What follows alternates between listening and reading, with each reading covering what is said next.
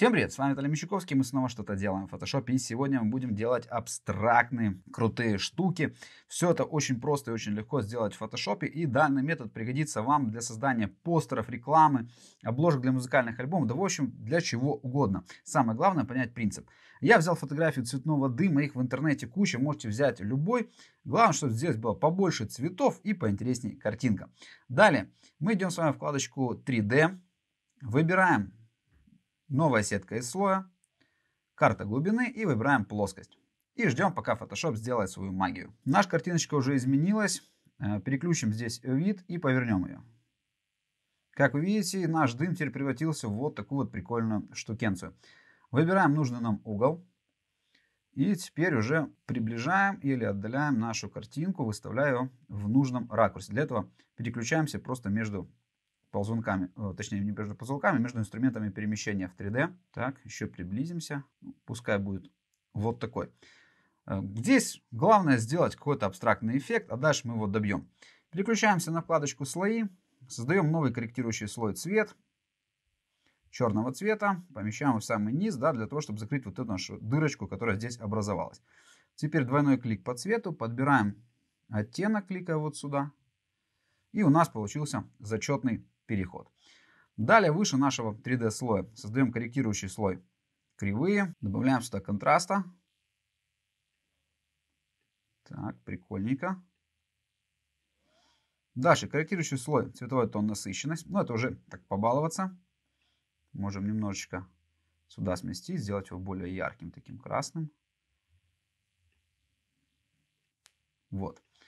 Вот такой вот прикольный у нас получился необыкновенный эффект. Ну а теперь дальше сюда мы накинем что-нибудь, чтобы получилось, ну, а какой-то баннер, постер. Рисуем здесь прямоугольник. Заливку мы выключим. Обводку поставим белой. Толщину, я думаю, чуть поменьше.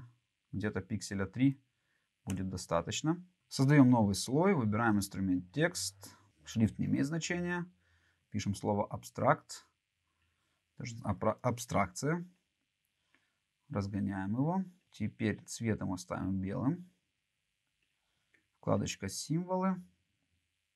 Увеличим его трекинг. Ну и теперь поиграемся с размерами. Вернемся к нашему прямоугольнику. Накинем на него слой маску. И при помощи инструмента кисть сотрем некоторые участки, чтобы у нас получился эффект прохождения через прямоугольник. Хочу сразу заметить, что чем качественнее будут фотографии, тем э, лучше получится данный эффект. Чем хуже фотография, тем, ну, соответственно, Photoshop ее хуже обработает.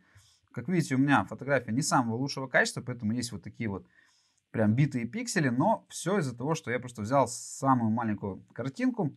Для чего? Для того, чтобы просто быстрее показать, чтобы чем больше картинка, тем дольше Photoshop будет обрабатывать. Э, может даже подвиснуть, поскольку я еще параллельно и видео пишу. Поэтому в данном случае э, я воспользовался не очень хорошим изображением, ну а вы уже не поленитесь, возьмите хорошего качества картинку и получите очень-очень крутой эффект. И дальше он вам, надеюсь, очень даже пригодится. Ну вот как-то так. Добавили сюда динамики. И у нас получилось вот такое вот интересное абстрактное изображение. Данную технику, как видите, она очень простая. Можно использовать для создания очень крутых постеров, баннеров, да чего угодно. Посидите, поэкспериментируйте, потренируйтесь, возьмите разные изображения, и у вас будет просто необыкновенный experience, который вам пригодится. Если это видео вам понравилось, не забываем поставить лайк и написать об этом э, в комментариях. В описании под видео ссылки на полезные видеоуроки, а также ссылки на соцсети. Подписывайтесь, чтобы быть в курсе всего происходящего на канале. Ну а с вами был Виталий Мещуковский, мы встретимся в следующих видео. Всем пока!